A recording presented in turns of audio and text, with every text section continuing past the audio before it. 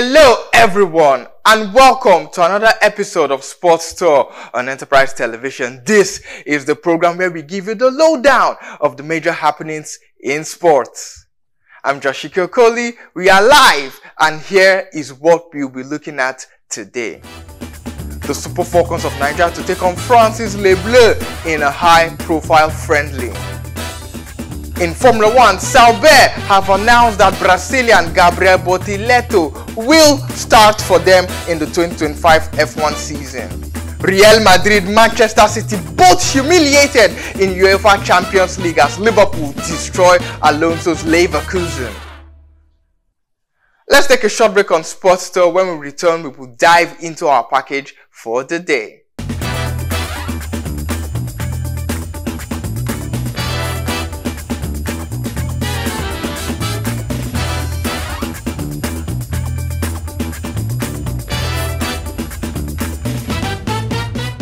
Welcome back to Sports Tour on Enterprise Television and fresh from our two-match friendly duel with the Green Ladies of Algeria in Nigeria. Nine-time African champions, the Super Falcons, are billed to play the senior women's national team of France, Le Bleu, in a high-profile friendly in France on Saturday, 30th November 2024. The Super Falcons lashed the Green Ladies 2-0 and 4-1 in games played in Ikenne Remo and Lagos, respectively, with a good number of home-based professionals showing great promise in the squad coached by Coach Justin Madugu.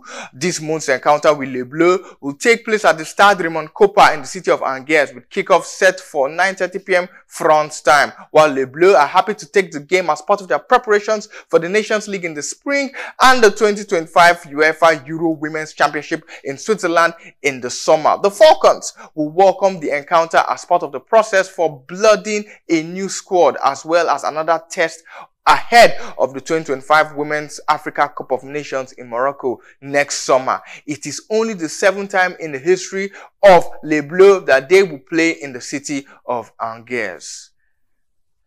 In Formula One, Sauber have confirmed Brazil's Gabriel Bortoleto will drive in 2025 alongside German driver Nico Hulkenberg as the team prepares to transition to the Audi Works team for 2026. The team announced on Wednesday morning that Valtteri Bottas and Zhou Guanyu will leave at the end of the season. And Sao Paulo's Bortoleto joined for Formula 2 and leads the Formula 2 championship with two rounds remaining. The 20-year-old driver joined McLaren's junior program in 2023 and Bortoleto won the F3 championship last season before moving over to Formula 2 in 2024.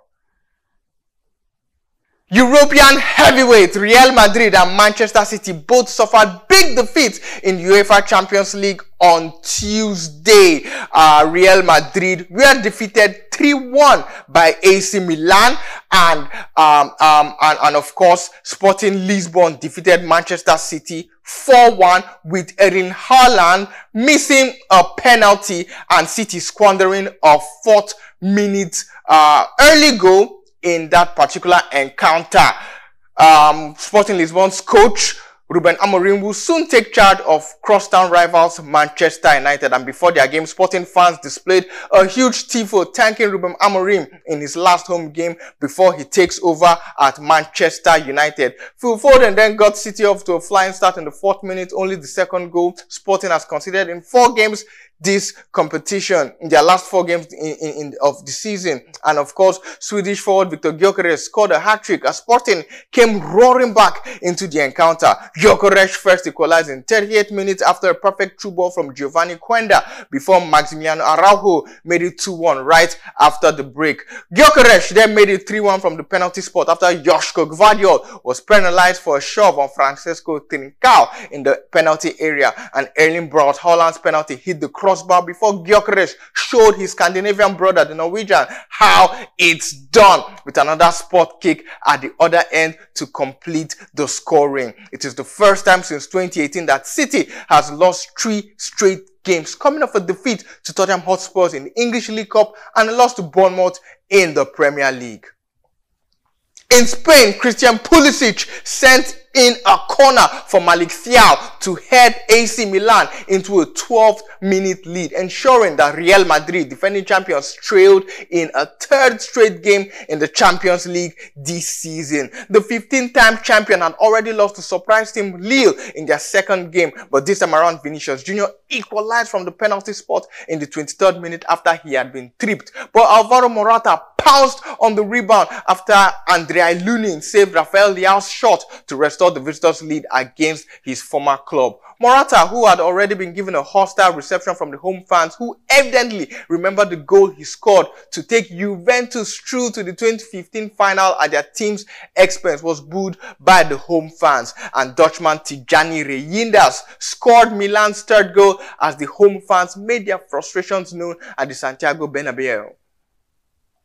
It was a much better evening for Liverpool as Luis Diaz scored a hat-trick and Cody Gakpo grabbed another goal in a 4-0 win over German champion Bayer Leverkusen at Anfield that marked Xabi Alonso's return to his old home. The Leverkusen coach was given a warm welcome in his return to the club where he became a fan favorite as a player over five seasons between 2004 to 2009. Alonso won the Champions League with Liverpool in 2005 scoring the third goal in the 3-3 miracle of Istanbul against Ancelotti's AC Milan man now coaches Real Madrid. Liverpool moved to the top of the Champions League league phase with four wins from four games, a perfect record for the Reds, followed by Sporting and Monaco, both on 10 points after three wins and a draw. And under the new 36 team format introduced by UEFA this season, the top eight teams advance directly to the next round, and those from 9th to 24th enter playoffs to reach it,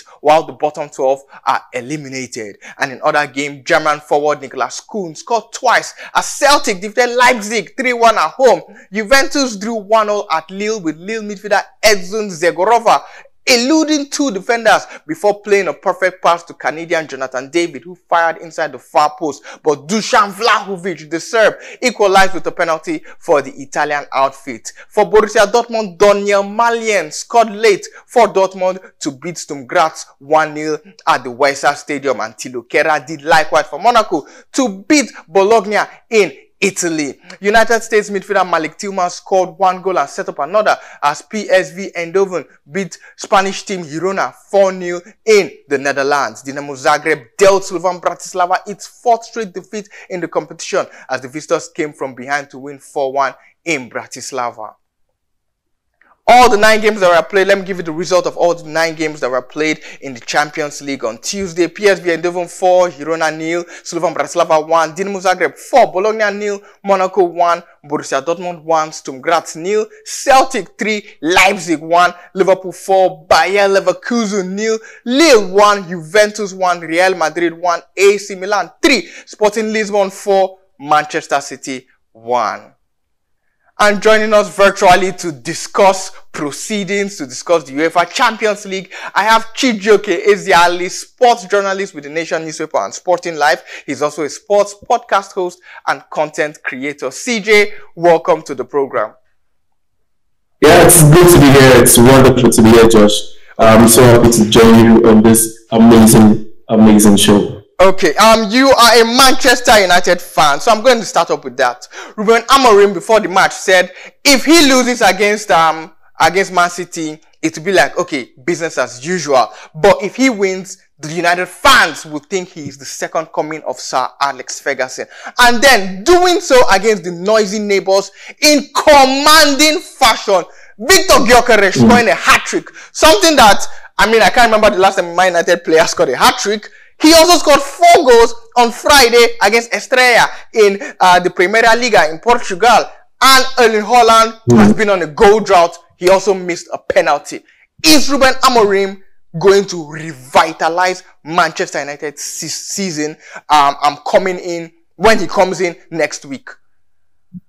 Well, as a fan, I would hope that will be the case and that will help the club. The club has been struggling since Alex Ferguson left the club. There's they won a future under Mourinho, who won the Europa um, League um, under um, Ole Gunnar Solskjaer. They, they struggled, they know the editing, they got three different finals um, under Van Gaal, they picked up the FA Cup, and under the recent past manager Ten Hag, uh, they won the Carabao Cup and the FA Cup. And unfortunately, he got sacked. No manager has been able to do three seasons after um, Sir Alex Ferguson. But Amorim coming uh, should be a breath of fresh air. He's the youngest manager ever, ever to coach Manchester United at 39. He's doing extremely, extremely well. And just take a look at what he did last season. Um, last season, he won the league by a massive 10 points. And you know, um, Lisbon was nowhere, was nowhere four seasons ago. He came on board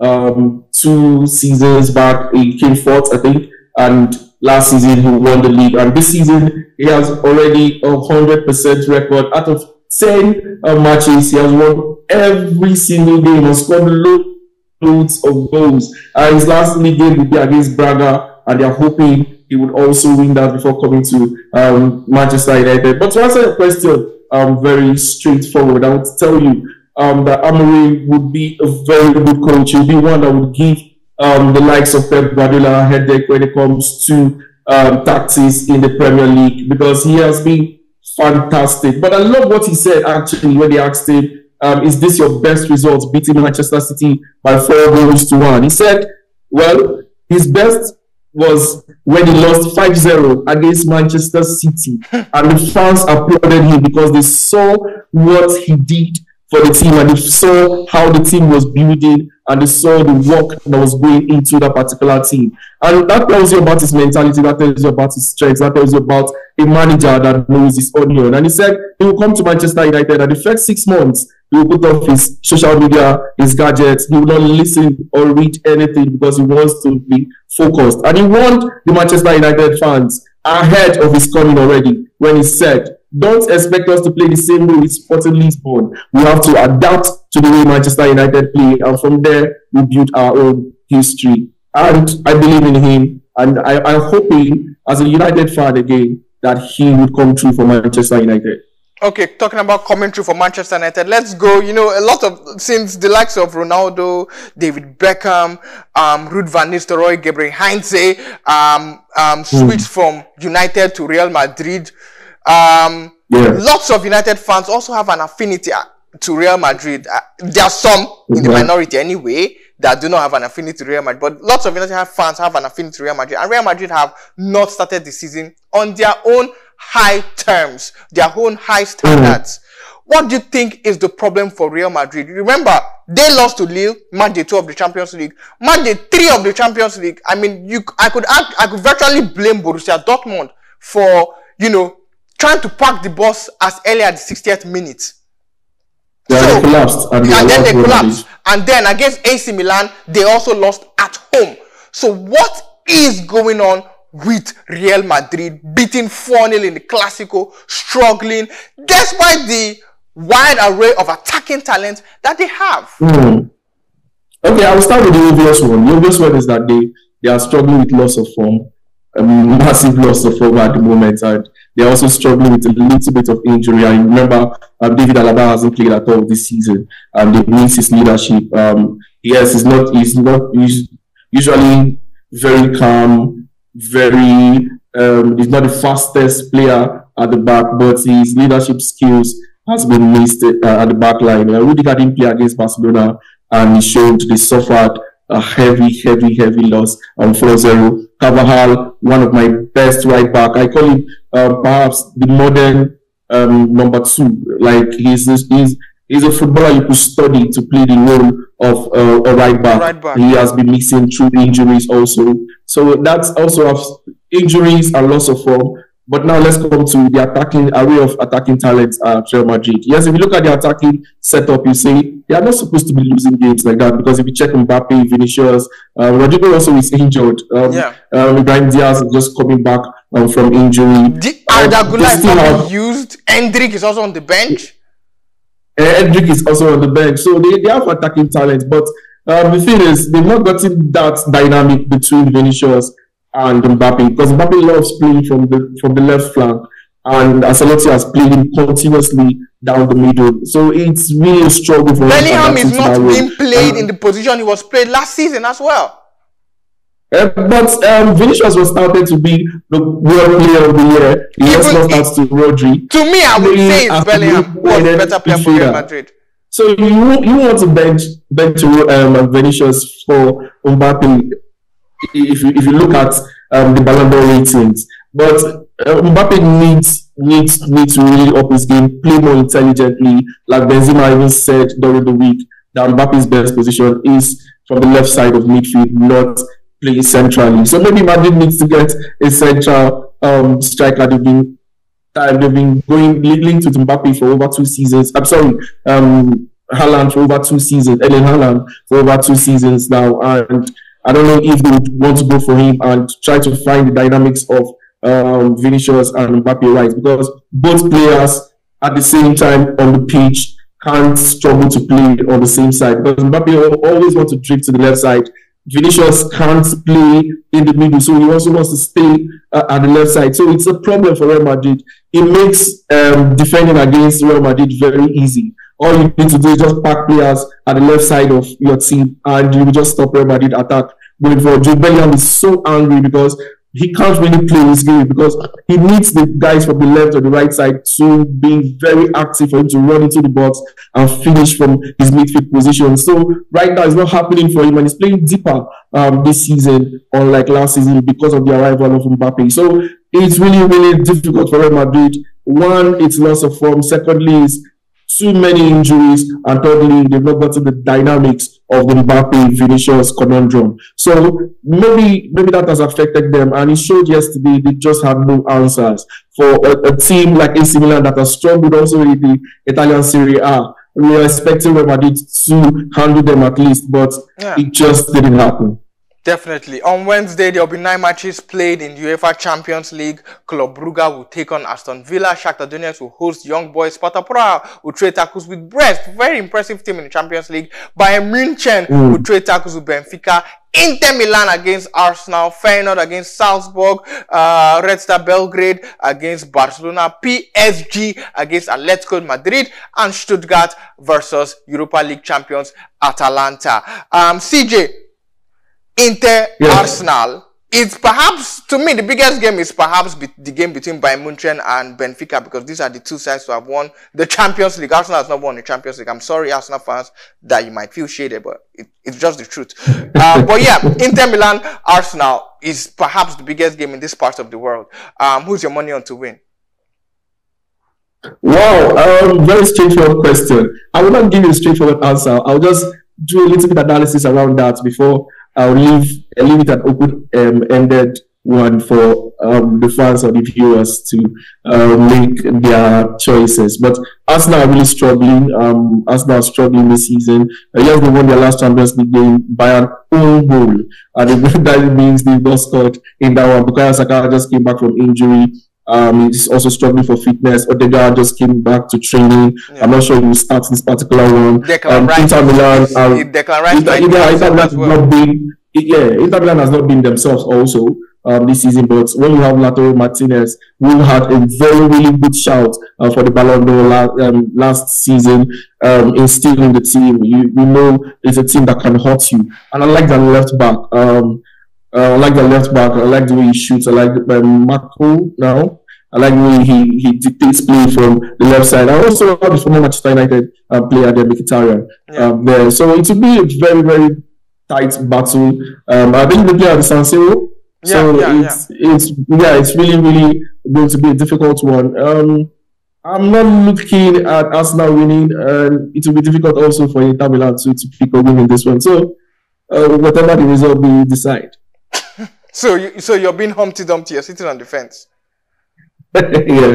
Well, well, for Arsenal fans, it's good to know that the last time that they were at the San Siro in the Champions League, they beat AC Milan 2-0. And then, uh, during the Henry era, uh, that was just be 2004 mm. season, the invisible season, they beat Inter Milan 5-1 in the same stadium to go to the next round that they lost to Chelsea. And Invisible season, they only won the Premier League. but it's, it's, topic, it's topic for another day. Uh, that's how much we can take on Sports Store for the day. Endeavor to subscribe to our YouTube channel. We are Enterprise TV 7 on YouTube. Click the notification bell to get alerts on our new YouTube videos. Follow us on all our social media platforms. We are Enterprise TV 7 on Facebook, Instagram, X, and TikTok. Like, share, and engage with our content and also visit our website www.enterprisetvnews.com where we give you all the hot stories on the news. Moreover, if you want to partner with us on Enterprise Television, you want to place your product on our platform and for all sponsorship, commercial and advertising inquiries, kindly send a mail to enterprisetv7 at gmail.com or send a DM to our aforementioned social media handles at Enterprise TV 7. CJ, thank you very much for your incisive analysis on the program and we hope um, Ruben Amorim gives you what you desire as a Man United fan. Hopefully, hopefully. Okay. Um, thanks for having me on the show. Definitely. We'd love to have you another time. And before we go, let's leave you with this quote from King Pele, the greatest footballer of all time. You Messi, Ronaldo fans, Pele is the GOAT. Uh, he said, and I quote, success is no accident. It is hard work, perseverance, learning, studying, sacrifice, and most of all, love of what you are doing or learning to do. End quote. I'm Joshua Okoli and thank you for the privilege of your time. Until we meet again on Sports Store, it's goodbye and hasta luego.